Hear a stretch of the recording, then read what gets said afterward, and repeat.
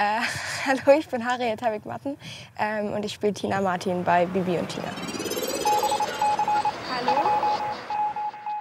Im neuen Bibi und Tina-Film geht es diesmal ähm, um außerirdische Begegnungen und außerdem wird auch Graf Falcos Geschichte weitergeführt und was mit ihm passiert. Für mich bedeutet einfach anders, dass man derjenige sein kann und immer noch selbstbewusst ist, auch wenn man anders ist als die anderen Leute.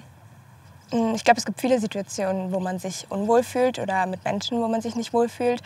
Äh, ich glaube, das kennt jede Person und es ist natürlich nicht kein schönes Gefühl, aber ich glaube, das Beste ist einfach ein Umfeld zu suchen, wo man sich ähm, wohlfühlt.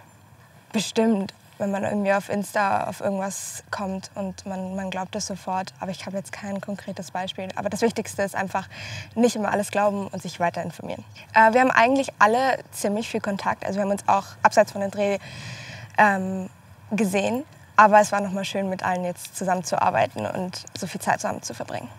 Wenn ich eine Außerirdische wäre und auf die Erde kommen würde, würde ich den Menschen sagen, wie viel sie zerstört haben und ähm, dass sie so viel mit der Klimakrise zerstört haben und ähm, ja, dass man das jetzt langsam noch hinbekommen sollte. Also ich war in der Schule, ich habe jetzt dieses Jahr Abi gemacht ähm, vor einem Monat und habe währenddessen auch weitergedreht.